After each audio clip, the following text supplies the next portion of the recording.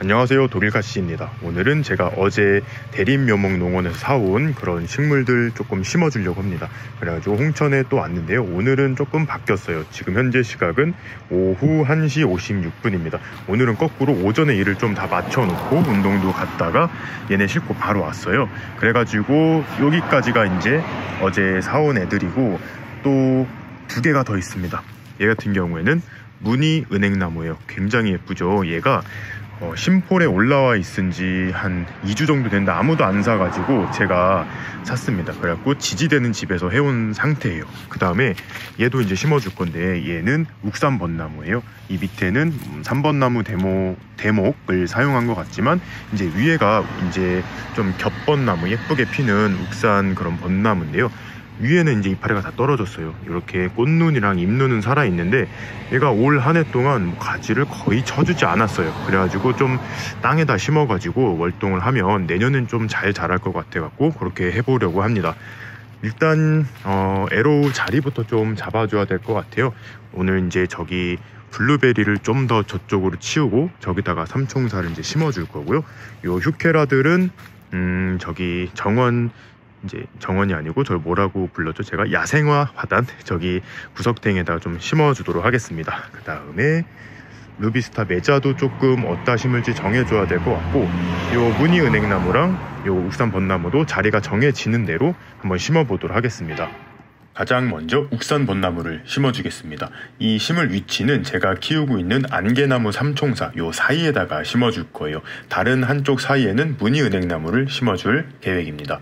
그런데 아버지께 도움을 받아서 오늘도 같이 심고 있어요. 그런데 여기는 흙을 보니까 많이 좀 비옥해진 것 같습니다. 제가 작년부터 올 봄에도 이 화단 위에다가 상토를 좀 많이 뿌려 두었는데 그게 이제 많이 섞이면서 땅도 부드러워지고 많이 비옥해진 것 같아요. 그래서 이 욱산 벚나무가 심길 만큼 흙을 판 다음에 이제 뿌리를 확인해 볼 시간이 왔습니다. 어, 올 봄에 얘를 이제 화분으로 옮길 때만 하더라도 뿌리가 많이 없어가지고 조금 걱정을 했는데 이렇게 뽑아 보니까 뿌리가 굉장히 많았어요. 그래서 안심을 했고 이렇게 화분 겉면, 그러니까 보이는 곳에 뿌리가 많이 자리 잡아가지고 이거를 그대로 그냥 심어 주었습니다. 그래서 얘를 올 봄에 심을 때 애초에 바팅 믹스를 만들어서 심었기 때문에 이 가장자리에는 그냥 기존의 밭들만 채워서 마무리를 해주었습니다. 그리고 이따가 보여드리겠지만 제가 요거를 막 발로 밟아서 조금 다져 주었어요. 근데 아버지가 요즘에 누가 이렇게 발로 밟냐 뭐 자연인에서 봤더니 그냥 물로 줘서 해야 된다고 하셔가지고 한 반절만 밟고 나머지는 물을 주어서 다져 주었습니다. 그 다음에 무늬은행나무 요거는 이제 제가 배송받은 지 이틀밖에 안 됐어요. 근데 분재형으로 키운 것 같습니다. 전목묘인 것 같은데 아마 100% 마사토에 심겨져 있을 거예요. 일단 성장을 많이 안 시키고 작게 키우기 위해서 이런 식으로 이제 키워서 심는데요. 저는 조금 크게 빨리빨리 키우고 싶기 때문에 영양소가 있는 흙에 좀 뿌리를 내리게 하기 위해서 기존의 마사토를 어느 정도 제거를 해 주었습니다. 많이 제거해 주진 않고요. 한 요 정도 기존 기존의 마사토를 한 반절 정도만 털어내 주었어요. 이 상태 그대로 이제 심어줄 건데요. 영양분이 조금 부족할 것 같아서 기존에 털어낸 마사토와 그 다음에 바트 그 다음에 요거는 상토예요. 요 원예용 상토 요 세 가지를 섞어가지고 이 무늬 은행나무 주변에다가 이제 뿌려줄 거예요. 그래가지고 이제 파놓은 데다가 무늬 은행나무를 좀 자리를 잡는데 애초에 조금 깊게 자리를 잡았어요. 그 이유는 여기다 이제 바튼 믹스를 섞어줄 건데 어, 너무 높이를 딱 맞춘 다음에 꾹꾹 눌러버리면 뿌리가 상할 것 같아서 지금 보시는 것처럼 흙은 계속 채워가면서 제가 이걸 막 흔들고 있는 거예요. 아래 위로 이렇게 톡톡톡 흔들면서 기존의 마사토가 사라진 그 공극에다가 이제 요 어, 바튼 믹스가 잘 들어갈 수 있도록 이런 식으로 이제 심어주고 있는 모습이에요. 이게 시간이 굉장히 많이 걸렸어요. 저도 이렇게 위치가 틀어지지 않는지 확인까지 하고 아버지께서는 계속 흙을 부어주시고 저는 또 계속 아래 위로 이렇게 올라가면서 뿌리 사이사이에 이 흙들이 잘 들어갈 수 있도록 지금 심어주고 있는 모습입니다. 그 다음에 손을 이용해서 뿌리가 다치지 않게 살짝살짝 다져주면서 마무리를 했어요. 다음 타자는 휴케라들입니다. 휴케라를 심을 공간을 도저히 못 찾아서 기존에 어, 이 고추가 심어져 있던 애들 고추를 다 뽑았어요. 거기다가 이제 얘네를 심어줄 건데요. 이렇게 네 개를 심었는데 조금 공간을 이제 여유 있게 심었습니다. 내년 봄에 포기가 커질 것을 대비했어요. 이제 이름표를 좀 기록용으로 한번 알려드리겠습니다. 요거는 시트로넬 가장 노란빛이 나는 요거를 이제 골랐는데 얘를 가장 위에다가 심어 주었어요. 그 다음에 얘는 Forever Red 요거는 어제만 해도 몰랐는데 이렇게 빛 아래서 보니까 굉장히 빨간 색깔이 어, 잘 나타나는 것 같아요. 뿌리도 실해서 얘도 털지 않고 그대로 파놓은 흙 위에다가 넣어 주었고요. 세 번째에는 Forever Purple입니다. 저는 이게 약간 검붉은 색이라고 생각을 했는데 보라색인가 봐요. 약간 그 달랑무 같은 그 비트의 색깔과 조금 비슷한 것 같습니다. 그리고 마지막에가 사실 저는 제일 마음에 들었는데요. 이름을 보니까 일렉트라라고 써 있습니다. 이렇게 인맥이 이렇게 화려한 게 약간 번개 모양 이런 전기가 통하는 그런 느낌이라서 이름을 그렇게 지었나 봐요. 잎은 제일 작은데 뿌리는 굉장히 제일 실해가지고 좀 깜짝 놀랐습니다.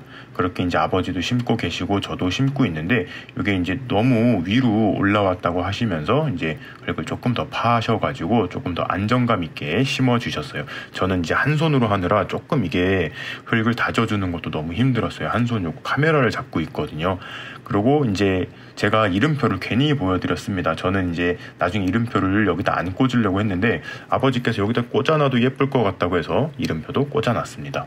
그리고 바로 이어서 메자나무 루비스타도 심어주었습니다. 제가 키우는 수양 벚나무 사이에 여기도 빛이 좋은 곳이에요. 그래서 여기다가 자리를 잡아주었는데 이거는 심으실 때 조심하셔야 되는 게 이렇게 가시가 가지에 나 있는데 굉장히 아픕니다. 그래서 이거 뽑는데도 조금 고생을 했어요. 이렇게 화분 옆을 쳐가지고 아주 어렵게 끄집어냈는데요. 어, 뿌리가 굉장히 많이 자라 있습니다. 그래서 이것도 그냥 흙을 털지 않고 그대로 심어줄 거예요. 여기도 흙을 조금 많이 판 다음에 한번 위 위치를 잡아줘 봅니다. 아주 한 번에 성공을 했어요. 그런데 이것도 약간 빛을 향해 가는 성질이 있어가지고 이걸 좀 자리를 다시 잡아주고 있습니다. 찔릴까 무서워가지고 아주 살살 해가지고 약간 비틀어서 이제 햇빛 쪽으로 이파리들이 잘 자랄 수 있도록 해준 다음에 옆에 이제 다시 흙으로 채워주고 있는 모습이에요. 뿌리가 또 다칠까봐 이제 겉부분만 이제 다져주었습니다. 마지막으로 Blue Arrow들을 심어줄 건데요. 기존에 여기에 있던 블루베리 화분들을 옆으로 조금 이동을 시킨 다음에 땅에 깔려있던 제초 매트를 제거해 주었습니다. 그랬더니 땅이 굉장히 촉촉해 보이고 비옥해 보여가지고 엄청 기대가 되는 그런 순간이었어요.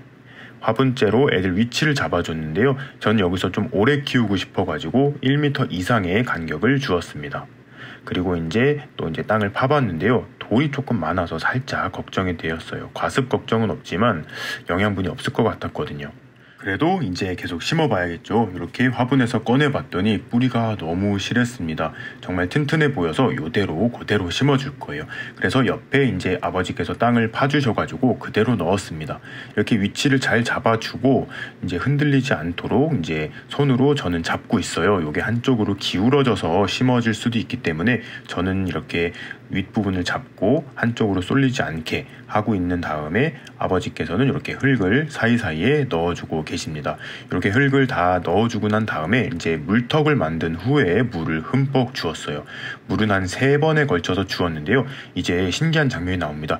이렇게 물을 주니까 흙이 다져지면서 구멍도 생기고 거기에 이제 다시 흙이 채워지면서 이런 식으로 흙이 잘 다져지는 것 같아요. 이렇게 물을 아주 흠뻑 주고 나야 어, 활착이 잘 된다고 합니다. 그 다음에는 이 물턱의 높이만큼 상토를 조금 깔아줬어요. 요거는 영양분을 주는 것도 있지만 보온을 조금 해준다고도 합니다. Blue Arrow 삼총사도 이렇게 다 심어 주었습니다. 아까 보여드렸다시피 처음에 어, 흙 파고 심고 나서 물턱 만들어서 물 주고 그 위에 상토를 깔고 이건 이제 아버지 아이디어인데 요거 원래 잡초 매트가 있었잖아요.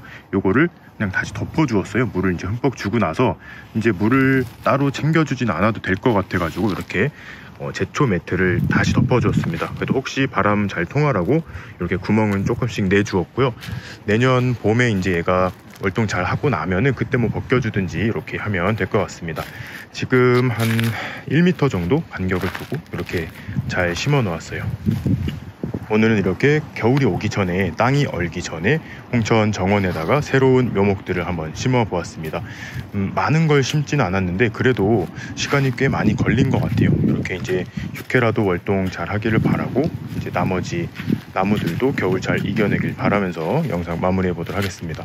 그럼 오늘도 재밌게 보셨거나 도움이 되셨으면 구독과 좋아요 그리고 알림 버튼까지 눌러주시면 감사하겠습니다. yung